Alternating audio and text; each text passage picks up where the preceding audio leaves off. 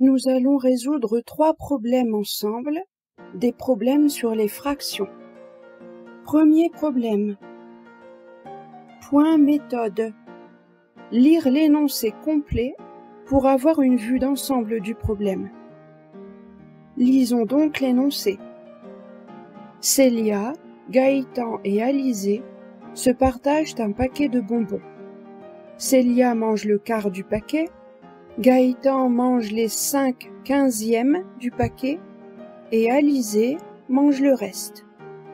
Sachant qu'il y a soixante bonbons dans le paquet, calculez le nombre de bonbons que chacun a mangé. Point méthode. Repérez les mots-clés pour repérer ce qu'on te demande. Ici, ce qu'on te demande, c'est de calculer le nombre de bonbons que chacun a mangé. Point méthode. Repérer les informations utiles et les écrire en mathématiques. Pour cela, tu vas utiliser du brouillon. L'énoncé te donne trois prénoms, Célia, Gaëtan et Alizé. Donc il y a trois personnes qui mangent les bonbons. Tu peux les nommer par leur initiale au brouillon et même sur ta copie. Nous mettrons donc C pour Célia, G pour Gaëtan et A pour Alizé. L'énoncé nous donne également le nombre total de bonbons, 60 bonbons dans le paquet. Je note ça sur le brouillon. Voyons maintenant les informations plus dans le détail. Moi, je préfère les gâteaux. Ce pauvre garçon n'a pas de cerveau. Célia mange le quart du paquet. Je note donc que C est égal à un quart, un quart du paquet. Et le paquet contient 60 bonbons. Je note donc que pour Célia, C est égal à un quart de 60, c'est-à-dire un quart fois 60. Un quart fois 60, c'est 60 divisé par 4. Et 60 divisé par 4 est égal à 15. Occupons-nous de Gaëtan. Gaëtan mange les 5 quinzièmes du paquet. Je note donc pour Gaëtan, G est égal à 5 quinzièmes, 5 quinzièmes du paquet donc 5 quinzièmes de 60 bonbons. Donc 5 quinzièmes de 60, c'est-à-dire 5 quinzièmes fois 60. Et maintenant, avant de calculer, je me rends compte que 5 et 15 sont tous les deux multiples de 5. 5, c'est 5 fois 1, et 15, c'est 5 fois 3. Nous avons donc un tiers fois 60, c'est-à-dire 60 divisé par 3, et 60 divisé par 3 est égal à 20.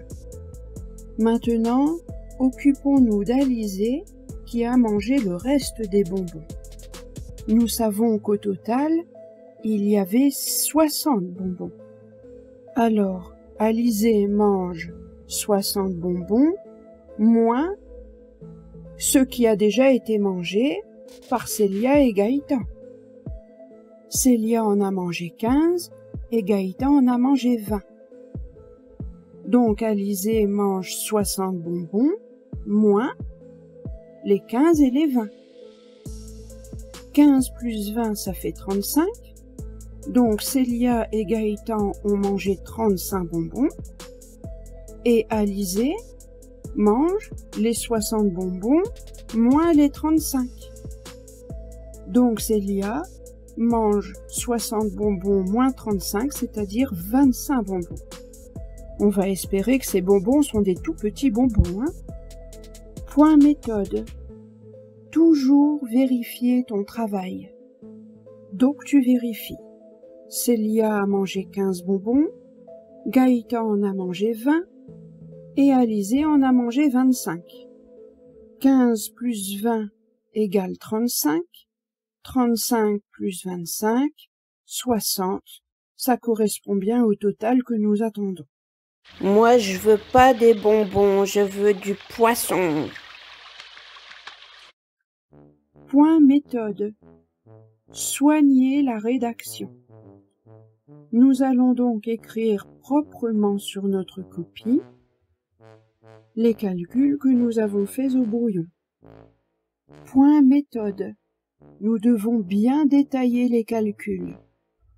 Donc ici, nous faisons apparaître la simplification de la fraction 5 sur 15 en 1 sur 3. Point méthode. Bien expliquer ton raisonnement. Ici, tu précises bien que c'est 60 moins la somme des bonbons mangés par les deux autres. Donc le total des bonbons moins la somme de ce qui est mangé. Et tu précises le déroulement du calcul. Eh Pep, sans tricher, hein? Point méthode. Bien vérifier ta réponse. Relire la question. On nous demande de calculer le nombre de bonbons que chacun a mangé. Point méthode. Utilise les mots et expressions de l'énoncé pour formuler ta réponse. Donc, ici, tu pourras écrire en phrase réponse Célia a mangé 15 bonbons, Gaëtan en a mangé 20 et Alizé en a mangé 25. Et tu as terminé ton exercice. Chouette, on va jouer. Non, non, on n'a pas fini. Voyons un second problème sur les fractions. Ah non, moi je me repose. Lisons rapidement l'énoncé complet. Un fleuriste propose des bouquets composés de six tulipes et quatre roses et des bouquets composés de sept marguerites et quatre roses. Quelle est la proportion de roses dans chacun de ces bouquets? Dans quel bouquet la proportion de roses est-elle la plus importante? Maintenant, je repère et je comprends ce qu'on me demande. La première question nous demande une proportion. Une proportion, c'est un rapport entre deux nombres. Ici, ce rapport concerne des roses. Et quoi d'autre? Il est dit dans chacun de ces bouquets. Donc il s'agit des roses par rapport au bouquet et donc au nombre total de fleurs dans un bouquet. Je note ça sur mon brouillon. Il est dit dans chacun de ces bouquets. Il y a combien de sortes de bouquets? Il est question de bouquets composés de six tulipes et de quatre roses. Et il est question de bouquets composés de sept marguerites et quatre roses. Il y a donc deux sortes de bouquets. Nous les appellerons bouquet 1 et bouquet 2. Et moi j'aime bien mettre des couleurs pour bien me repérer. Moi je préfère faire de la peinture. Il est question pour chacun de ces bouquets de roses par rapport au nombre total de fleurs. Donc dans le bouquet 1, nous aurons 4 roses par rapport au nombre total de fleurs. Quel est le nombre total de fleurs dans le bouquet 1 Eh bien, il y a 6 tulipes plus 4 roses, donc 6 plus 4 fleurs. Donc 10 fleurs. Nous appellerons cette première proportion pour le bouquet 1 P1 et P1 sera donc égal à 4 sur 10. Nous voyons que nous pouvons simplifier cette proportion, puisque 4 est égal à 2 fois 2 et 10 est égal à 2 fois 5. Donc P1 est égal à 2 sur 2 fois 2 sur 5. Donc P1 est égal à 2 sur 5. Voyons maintenant les proportions pour le bouquet 2. Dans le bouquet 2, il y a encore 4 roses. Et combien de fleurs en tout dans ce bouquet 2 Il est dit qu'il y a 7 marguerites et 4 roses. Donc 7 plus 4. Ça fait 11. Donc la proportion pour le bouquet 2 que nous appellerons P2 est égale à 4 sur 11. Cette proportion, nous ne pouvons pas la simplifier. Nous avons donc répondu à la première question. Quelle est la proportion de roses dans chacun de ces bouquets? P1 est égal à 2 cinquièmes, P2 est égal à 4 onzièmes. Voyons maintenant la deuxième question. Dans quel bouquet la proportion de roses est-elle la plus importante? Ici, c'est donc une comparaison qu'on nous demande de faire? Nous devrons donc comparer les proportions que nous avons appelées P1 et P2. Donc nous comparons 2 cinquièmes et 4 onzièmes. Si nous regardons le résultat intermédiaire de P1, nous voyons que P1 est égal à 4 sur 10 et P2 4 sur 11. Dans chacune de ces proportions, nous avons le même nombre de roses, 4. Mais pour P2, le nombre total de fleurs est plus grand. Donc, nous pouvons comprendre que pour P2, la proportion est plus petite que pour P1. Vérifions cela. Nous allons prendre la valeur de la proportion la plus petite. Donc P1 égale 2 cinquièmes et P2 égale 4 sur 11. Pour pouvoir comparer deux fractions, nous devons leur donner un même dénominateur. Nous multiplierons donc 5 par 11 au dénominateur de P1 et nous multiplierons 11 par 5 au numérateur de P2. Nous avons donc deux numérateurs égaux, 5 fois 11 et 11 fois 5. Puisque nous avons multiplié en bas par 11, nous multiplierons en haut par 11 pour P1. Donc ça nous donne P1 est égal à 2 fois 11 sur 5 fois 11. Et pour P2, nous avons multiplié par 5 en bas, donc nous multiplions par 5 en haut. Donc P2 est égal à 4 fois 5 sur 11 fois 5. Les deux dénominateurs sont égaux à 55.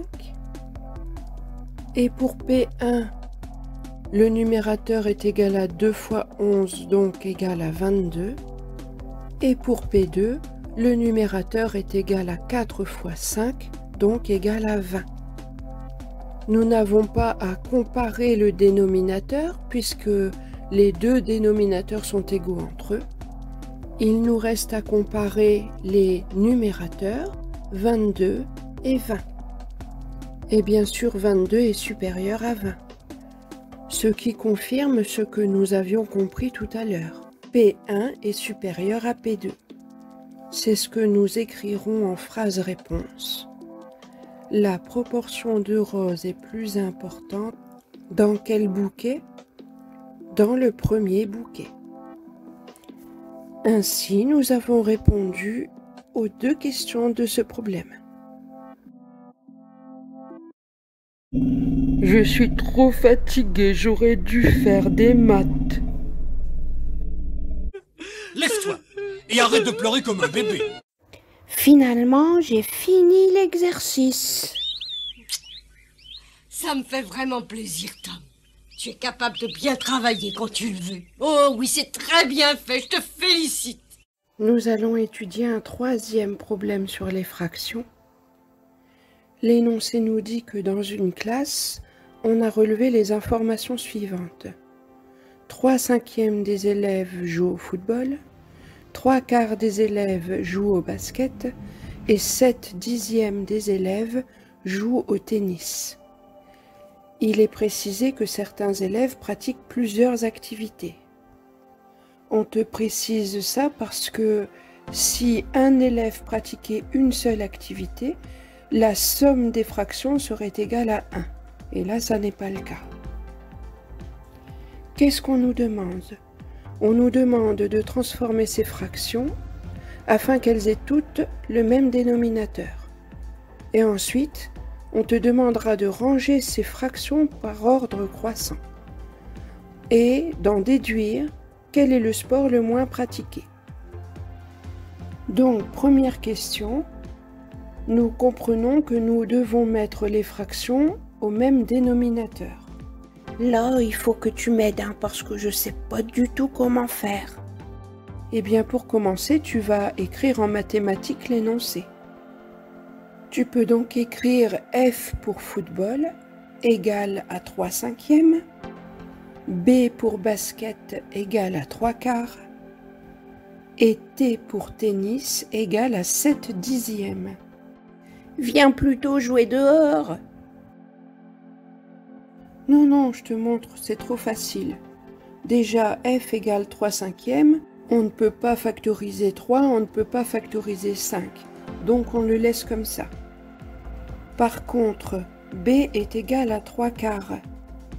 On ne peut pas factoriser 3, mais par contre 4, on peut le transformer en 2 fois 2. Pour ce qui est de t égal à 7 sur 10, 7, on ne peut pas le transformer. Par contre, tu vois que 10 c'est égal à 2 fois 5. Nous avons donc tous les termes des fractions qui sont factorisés au maximum. Et au dénominateur, nous trouvons 5 en commun avec deux fractions. Nous trouvons le 2 gris en commun avec deux fractions. Et nous trouvons le 2 vert qui est tout seul. On fait quoi avec le dénominateur? Je ne sais pas du tout. Eh bien, tu vas utiliser les différents nombres pour créer ton facteur commun. Tu as donc le 5, tu as ensuite le 2 gris et le 2 vert. Ainsi, tu as mis en commun le dénominateur de chaque fraction. Maintenant, nous allons nous occuper du numérateur. f est égal à 3 fois combien? Tu as multiplié le dénominateur par 2 par 2, donc tu multiplies le numérateur par 2 par 2. Pour ce qui est de b, au numérateur nous avons 3, que nous multiplions par combien? Nous avions 2 fois 2 au dénominateur et nous l'avons multiplié par 5. Donc nous multiplions par 5 le numérateur. Maintenant, occupons-nous de t. Nous avons déjà 7 au numérateur, que nous multiplions par combien? Eh bien, au dénominateur, nous avions 2 et 5, que nous avons multiplié par 2. Donc, nous multiplions le numérateur par 2 également. Qu'est-ce que ça nous donne?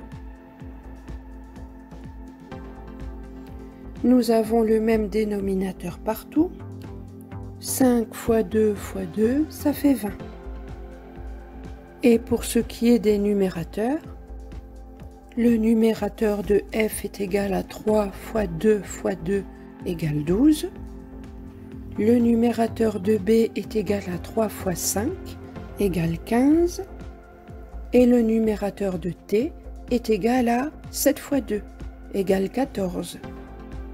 Nous avons ainsi nos trois fractions au même dénominateur. Moi, je préfère faire des bêtises. Si tu es bon en calcul mental, tu as pu aussi remarquer que tu pouvais multiplier 5 avec 4, que ça donnait 20, et qu'ensuite tu pouvais multiplier 10 par 2, et que ça donnait 20 aussi et tu trouvais le même résultat. Donc tu as mis les fractions au même dénominateur. On te demande maintenant de les ranger par ordre croissant. Donc tu vois que tu n'as pas fait le premier travail pour rien, puisque tu n'as plus qu'à comparer les numérateurs. Dans l'ordre croissant, ça nous donne 12, puis 14, puis 15, ce qui correspond à F pour football, puis T pour tennis, puis B pour basket. Donc nous avons rangé les fractions par ordre croissant. On nous demande maintenant de déduire quel est le sport le moins pratiqué. Déduire, ça veut dire que la réponse qu'on vient de trouver nous permet de répondre à la question suivante. Effectivement, nous voyons que la fraction pour le football est la plus petite. Il s'agit donc du sport le moins pratiqué. Je ne pensais pas que c'était si simple. Maintenant, tu vas écrire tout ça sur ta copie. Tu rédiges proprement la première question. Puis tu rédiges proprement la deuxième question.